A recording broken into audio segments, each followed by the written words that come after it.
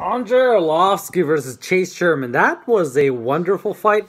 I love Andrei Arlovski. He's 42 years old. I've seen him since the very beginning. And that was a long time ago, yo. I'm an old man.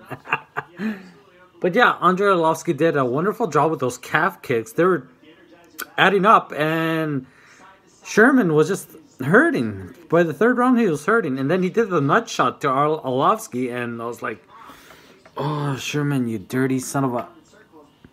And once they got back into the action again, he was fresher because of that nut shot, and he just like poured it on, but it was too little too late. And my boy Andrei Arlovski won.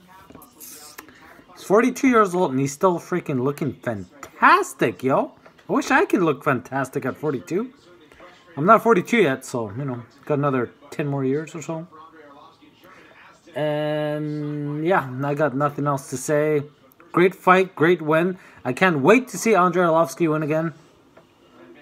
Maybe even fight for the title? Nah.